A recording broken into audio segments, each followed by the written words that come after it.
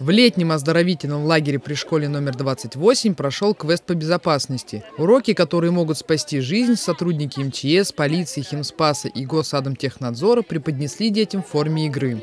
Наша основная цель – это поговорить с детьми, объяснить им первым делом правила безопасности при игре на детских спортивных площадках.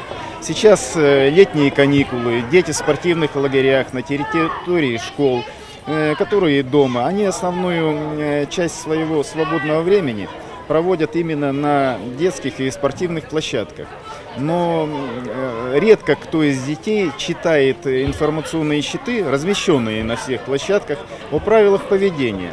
Поэтому бывают и травмы, Э, бывают э, различные падения. В мероприятии приняли участие более 50 детей. Пообщались со спасателями, узнали о правилах поведения в чрезвычайных ситуациях, выполнили игровые задания. Акция «Безопасность детства» прошла по всей России во второй раз.